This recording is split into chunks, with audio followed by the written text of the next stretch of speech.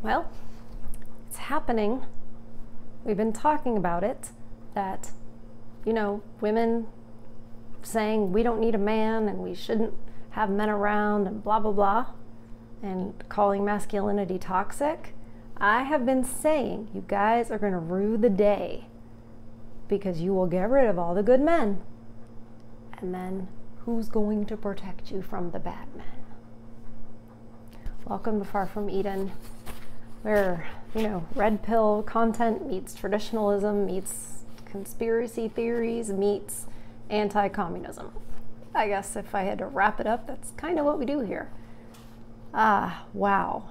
So, I was watching Tim Pool last night, and sure enough, the story comes up about women in New York City are getting clocked in the face. I don't know if I can even say all the words. You know, YouTube gets real weird about certain words and stuff. So they're they're getting in the face in New York City, and I, I feel I feel guilty that I don't feel guilty because I had the same reaction that Tim Pool said that he had, and that was he laughed at first. Because I I I agree. Like this is this is them eating crow. You keep saying you, you don't need men, don't need men, I don't need no man. And some of those same people are the people that wanted to abolish the police. I'm not a giant police fan just because they are the arm of the state. However, I know there are good people that go into that profession still thinking like I'm going to do do good although I think they got rid of a lot of those people, you know, with the mandates and what all went on with uh, 2020 and how easily, how easy it was to do the wrong thing and get persecuted for it for trying to do your job. Anyway, that's a complete diversion from the topic. However, now, what did you expect? That's the train. What did we expect? I expected this, and I expect it to get way worse before it gets better because they're not going to admit it. So I printed out a little press release from um, NBC. I also I read another article. Funnily enough, the other article that I read about this uh, series of incidents was from Glamour magazine. I'm like, really? What? Glamour, that's like a Cosmo magazine. I'm like, oh, because it we need a narrative. So we need to keep framing this exactly the way we, we want to frame it. And, and, and it's not in a way that's going to make anything better because it's they're not going. When are they going to admit? I don't know. So, like I said, this is from NBC News. It was last updated uh, March 28th, 2024. So it was yesterday at 8:07 a.m. It's by Mirna Al Sharif. Al, I don't, I don't know. Several women have come forward on social media sharing incidents in which they say they were punched by men while they, while they, while they walking the streets of downtown Manhattan in broad daylight in the last month. And I'm reading that exactly as it's written. Multiple videos, which were uploaded to TikTok, have picked up traction in the last week with women online sharing their safety concerns in comments and reply videos. One woman said she was assaulted walking home from class. Another said she was assaulted on her way to work. A third woman said she was attacked walking her dog. At least two of the women described suspects with similar characteristics. While walking your dog, like, must not have been a real dog, because, like, you know, the, the dog must have been not a real dog because it didn't stop the person. And can we just stop right here and be like, we went to TikTok to, they just, like, immediately, we need attention. We're victims. Boy, women are so excited to be victims. For now, they are. New York police said they made an arrest in one of the incidents and are investigating another. While police wouldn't confirm that the incidents described in the TikTok videos are those they are investigating. yeah, it's totally, totally different punch in the punch in the face incidents. Okay.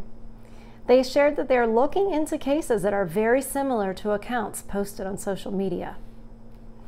Officials said it's unclear whether the two incidents they are investigating are connected. the videos have circulated amid widespread perception in the U.S. that crime is rising, despite recent FBI data that suggests it decreased last year. Here's a weird, weird thing about crime if you don't prosecute it, if you don't charge people, prosecute them, what are they counting? So, right? So you might arrest somebody, but if you don't, if the charges don't stick, if the charges get dropped, I guess that's not a crime. You will never convince me and many of you guys that crime is on the way down. That is a lie. That is just, they are lying. We all know it. We all know crime is up. We know here the FBI is saying crime is down. So they're lying. Why would they lie? I don't know how anybody isn't waking up yet. because crime is up. It's ridiculous. Concerns over public safety, exactly, have continued to loom in New York City. A series of recent high profile crimes in the subway system prompted Catherine. Kath, I combined Governor and Kathy Governor Kathy Hochul to send National Guard members to some of the busiest stations. Right. And yes, the National Guard has been deployed in New York State to the subway. And I know a lot of people are like, yay, protection. And I'm like, they're getting us used to the idea of martial law. They're getting us used to, you know, wanting. They want us to want you know, soldiers around, like, we're here to help you. But crime is down. Crime is down. That's why we need that's why we need National Guard in the subway. Really? Who is believing this? The women. The women are believing this. In February, police reported a decrease in shootings, murders, and other crimes like grand larceny, as opposed to February of last year. However, there was a 3.6% uptick in felony assault, with 1,968 incidents reported to police last month. Weird. According to crime statistics for this past week, misdemeanor assault is up 10.3% from this time last year, and it has gone up 15.7% in the past two years. And I know that a lot of y'all's blood pressure is rising because you're thinking about mass immigration. Exactly. And who voted that in? Who are the ones that say, oh, those poor people? They're only looking for a better life. Who are the ones that believe that garbage? A police spokesperson declined to answer any additional questions about the recent assault incidents, including whether they represent an uptick in violent crime against women in the city or whether the police department is taking any additional measures to ensure their safety. In other news, as I was researching this topic, I happened to notice in a whole other article, but it's related, that the EU is reducing grape as a crime. I think they have a lot more of it going on in European countries that are experiencing a lot of changes in their demographics, people coming from other cultures that don't look at the relations between men and women in the civilized way that we do. So it's it's coming. This is all coming. Unless something stops it. All right, let's get some of these some of these stories of these women. Ah. So remember, let's just remember they say they're punched in the face, right? By a man. Sarah Harvard, 30, was among the women who shared her experience online after she saw other women post videos. Hive. She saw somebody else do it, so she's going to do it. We are so impressionable, I swear. Harvard, who posted Tuesday on X, said she was walking to her to her comedy gig on the Lower East Side when she was punched in the back of the head near the Delancey Street and Essex Street station the evening of March 19th. Quote, I was not on my phone. I was walking somewhere and I got attacked from behind, she told NBC News. So it's really violating that I didn't see it coming and there was nothing I could have done to prevent it from happening. she, she described experiencing a spiky pain, throbbing feeling in her head as she was walking home after the incident. The rest of the night, she said she had nausea, headaches, dizziness, and blurry vision.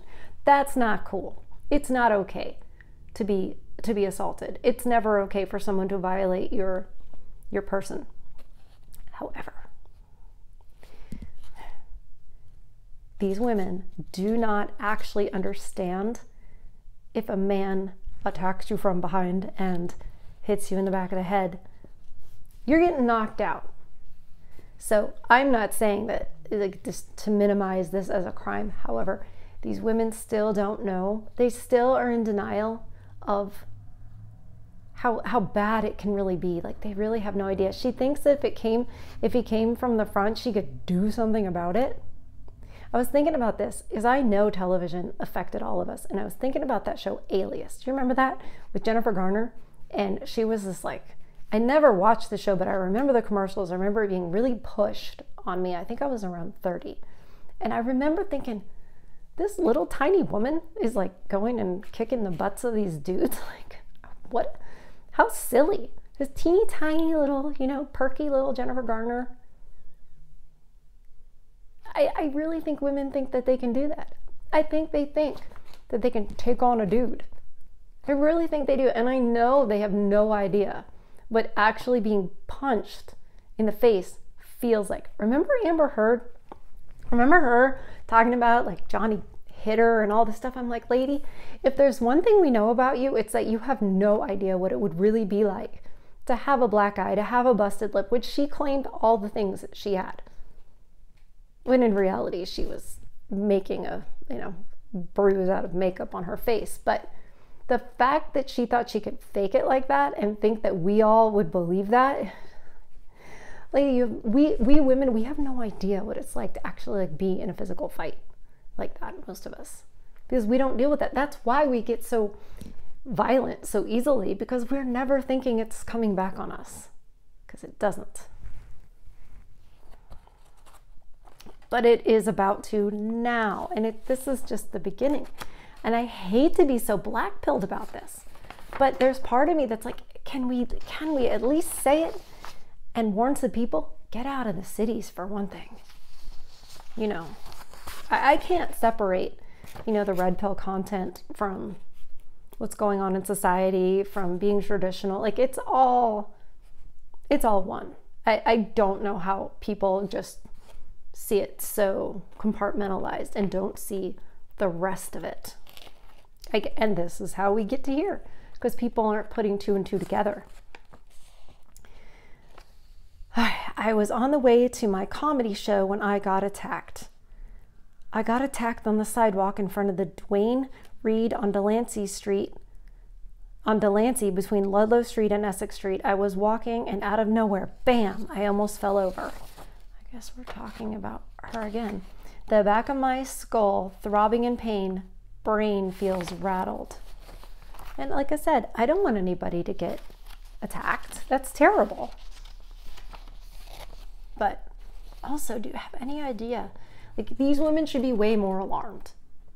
And these women should be able to understand the difference between good men, which is the majority of men, and bad, violent people and understand that you need the one to stave off the other because the other The bad guys do not rise up and start acting out like this when they think the good guys are going to do something about it.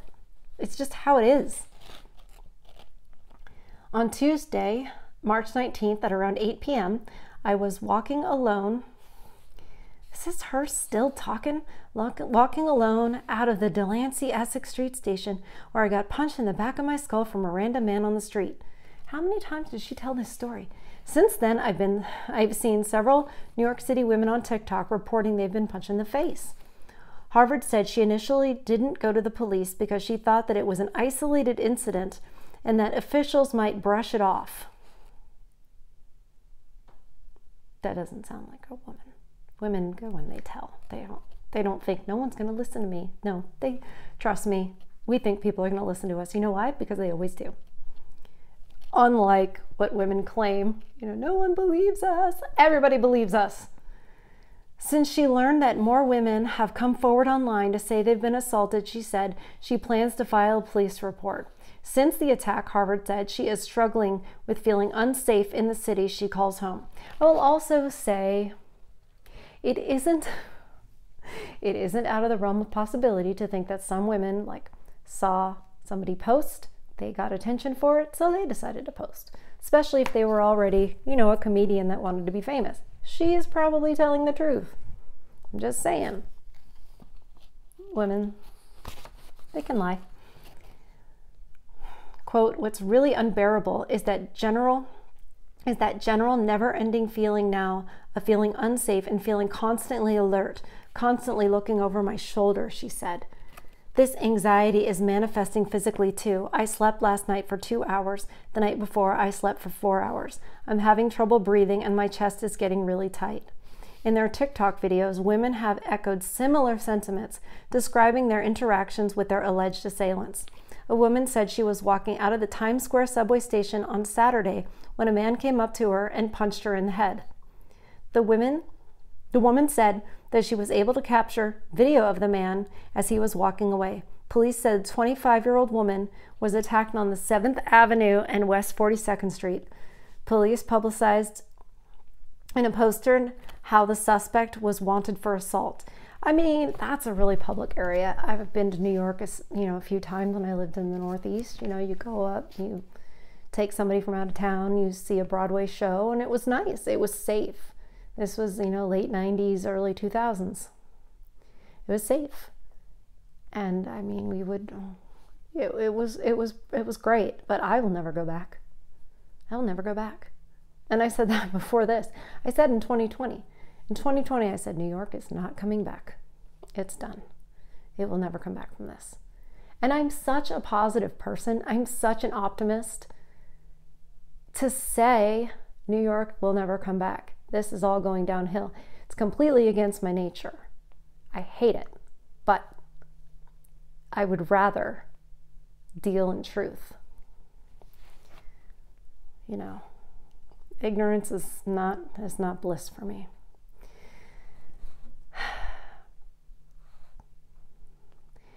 The woman said on TikTok, the traumatic experience will stick with her for the rest of her life.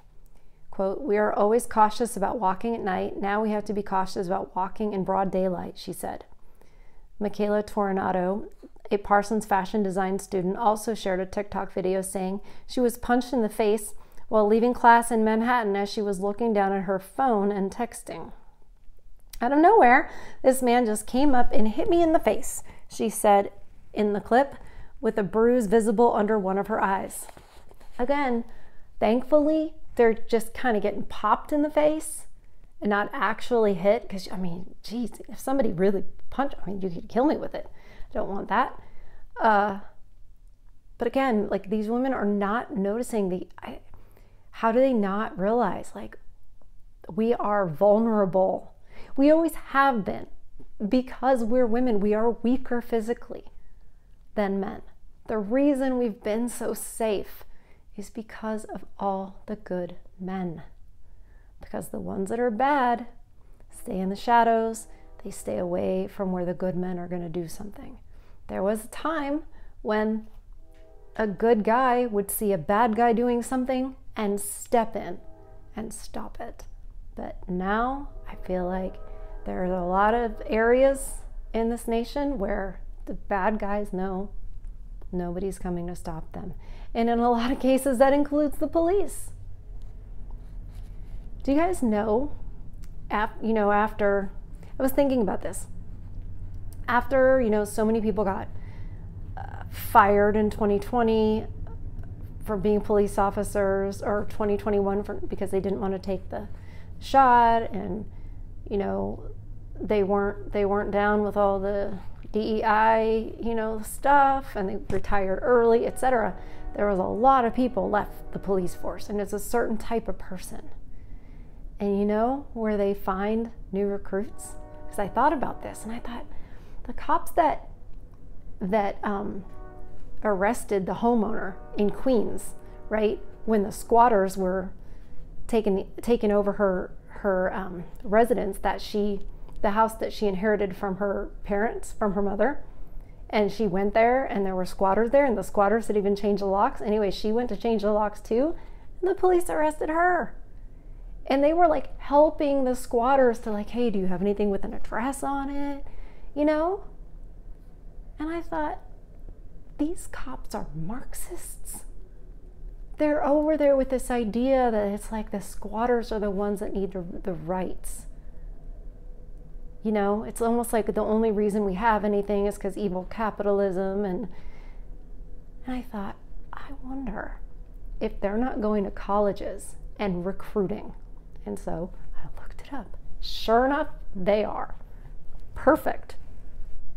Go get these, you know, Marxist college students who have these useless degrees and can't get a job make them be police officers and then they can arrest you when you're the homeowner and somebody's squatting in your house and you can get paid to not arrest the criminals and practice anarcho capital or anarcho tyranny where you know the bad guys anything goes. Hey good guy you went two over the speed limit you're getting arrested. So this is just and again it's all because when you vote to let more people in the life raft, and the life raft can only hold so many, everybody sinks. And women have a harder time not voting with feelings and oh, those poor people. So we end up here. Ah.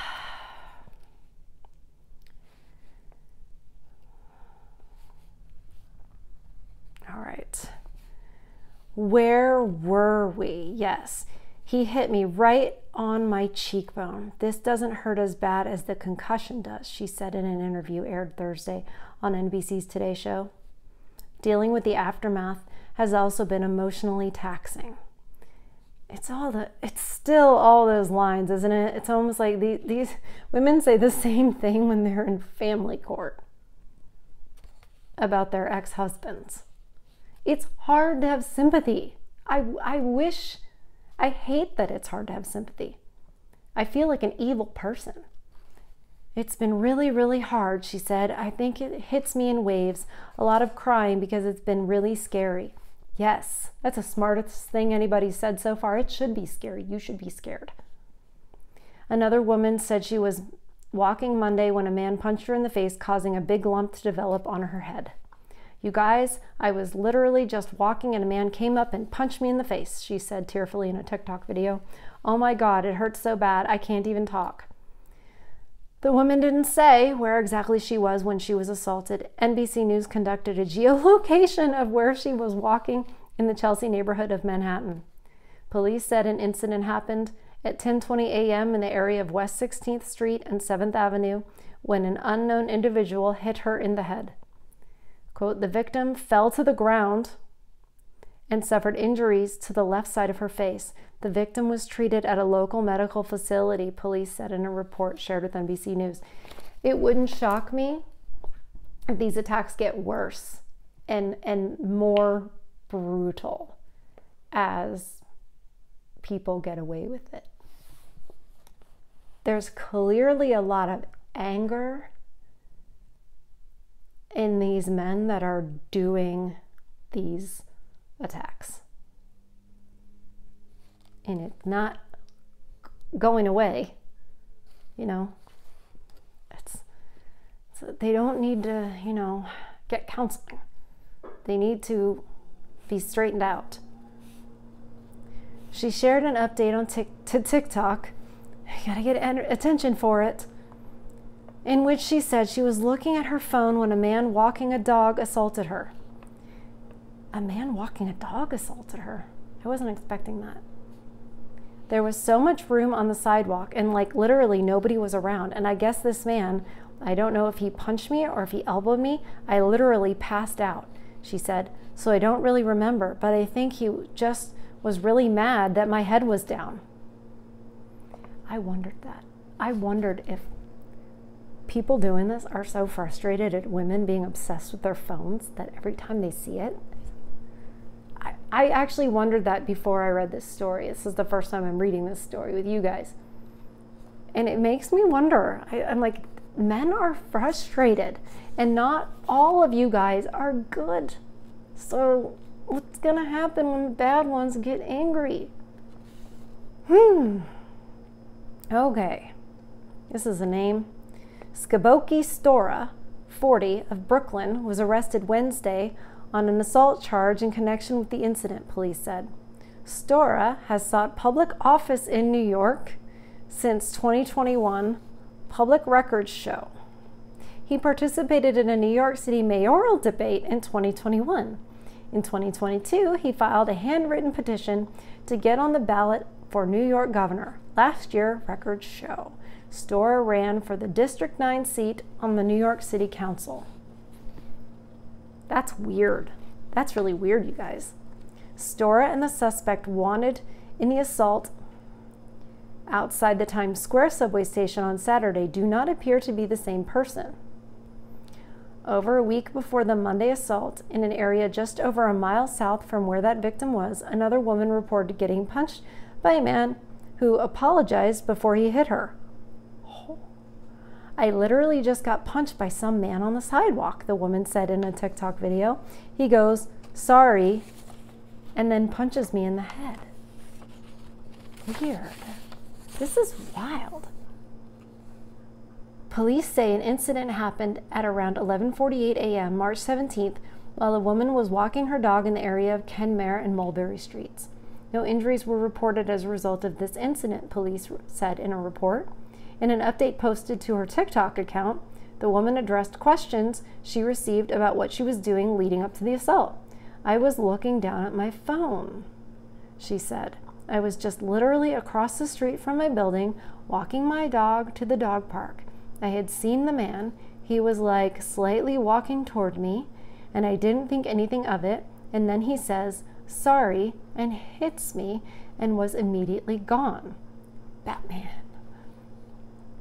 She said a woman who witnessed the assault came over to help her. Neither of the women who posted on TikTok responded to requests for comment. Several others who also posted videos didn't immediately respond to requests for comment. Many women online have since expressed that seeing the videos of other women sharing their alleged experiences have left them feeling uneasy. I have never felt so unsafe in the city than I do now, reality TV personality Melinda Melrose, who was on the show Too Hot to Handle, said in a TikTok video. This is another reason why I packed all my things out of my apartment, put them in storage, and I'm moving. I do not I do not got time to end up on the news and become someone's victim. Okay. And they all don't seem to know like I don't get it. I, maybe maybe they had more to say. Maybe they were going to talk about what the issue is and what might be going on, but they just seem focused completely on, oh my gosh, this happened to me and I'm a victim. They're so excited to be victims all the time. And I'm like, first of all, you called masculinity toxic before any of this stuff was going on. And you blamed men for all kinds of things that they weren't. Called it, was said we had grape culture and everything. And I'm like, then why are you going around half naked? You know, if we really had such a grape culture, why would you be half naked all the time? You wouldn't be. You wouldn't be. And you wouldn't go out alone and you wouldn't go out and drink because you'd be like, oh, this is dangerous. You would behave as if it were uh, some kind of rape culture. But they called it that and they said they're victims and they're constantly abused. And, and you know, you're not. Like, you wouldn't know what it was if it did happen. And yes, there are rare, there are, it does happen, but it's not you know, it's not every it's not everybody the way they make it sound like. It's very rare, you know. And it's usually mutual. It's not a big evil guy, poor little delicate flower woman. That's usually, you know, combative the two. But now that there actually is violence going on, now that there actually is, now that women actually are vulnerable, they're not even calling it for what it is and they're not even taking it seriously. They're using it to get attention on TikTok. And I just have to say, I don't think that's endearing us to you guys anymore. Like, you're not impressed. We got to straighten up. We women have got to straighten up. We don't we don't just deserve your protection. That's just not the way it goes. And I think a lot of women, well, obviously, a lot of women have taken it for granted for a very, very long time. And they're about to really suffer. And we've been talking about this. I released a short today that was a clip from another video because I, I knew I was going to talk about this tonight. And I was like, oh my God, uh, we're already talking about it. Like, it's going to get so much worse just in society. You cannot, you cannot take down good, strong men. You cannot remove them from society and, and from families and therefore destroy the nuclear family and expect to have a high trust, safe, civilized society. You're not going to. And I mean, this that's the black pill. When will the correction happen? Who knows? Probably not in our lifetime. But there, there, there will be some women that realize this is this is not safe. It's it's biological in us. We start to feel threatened. That's very that's that is a real sort of carnal instinct in us. So you will see a difference when hardship actually comes. The problem is, as soon as easier times come back again, she's out there and she's on Instagram, she's on TikTok, and she's looking at all her many options that she doesn't have for real. And but it's gonna get it's gonna get a little it's gonna get a little tricky out there, and women are going to start to realize that the best thing we can do is cooperate and partner up with you guys and get on your program and be a good helpmeet. That would be the best thing that we could actually do. We'd be safer. That's not going to be, you know, there there doesn't always have to be supermarkets and like food plentiful, supplies plentiful in the stores. Transportation to get to a store. What if they say no more oil for you? You have to have a, an electric vehicle that costs this amount of money and charging station costs this amount of money and what happens then? Gonna hook up your horse and buggy? You're gonna walk? What happens? You go to the store and there's nothing because, you know, we had to divvy up everything and make it equal. And of course, that's code for the state takes over and everybody starves. Like, women have no concept of what that looks like, what it looks like when people are actually hungry and there aren't any food stamps. They have no idea. You're not going to be Jennifer Garner from Alias and start kicking butt. You're not going to do that. You know? And then never mind the ones that have young children and are pregnant. We really are meant to be complementary with men. And do the men need us? No, they don't. In fact, we are one more mouth to feed, one more person to protect. So, you know, we really should, we should try to be bringing something to the table. We should try to enhance his life in whatever way we can. Because it's good for us too. Not just because what we get out of it, but the mutual, you know, the, mut- the actual partnership, complementing one another. And there's a reason why there's a male and a female species. And our industrialized and, you know, all these, like, you know, supermarkets and roads and all these things kind of mask how much we especially need you guys. And this is the beginning. I don't know how fast it's going to go. I don't know how quickly it's going to descend into utter madness. And I don't know if there'll be a reprieve for a while. But women are really, really, they've really shot themselves in the foot with this. You really need to eat some humble pie and say, Ooh, we've been real bad and we've been ungrateful and uh, we're very sorry and we want to get along now. That would be awesome. You guys would be like, Nope. be like, I don't trust any of you. I get it. Rightly so. Rightly so. You shouldn't. But man, we should have done that, you know, 20 years ago. We should have been saying this. And now it's too late. You guys are like, we've ruined it. We've ruined it. We've ruined you guys. So that's what's going on in the news. Who knows? I mean, who knows what I'll what I'll learn tonight when I catch up on everything. But this is this has been this has been interesting, and I think it's very telling. So uh, yeah, get out of the cities, and um, yeah, keep an eye out of what's really going on out there because it's no joke and it's happening pretty fast. So, thanks for hanging out and uh, going over all this with me.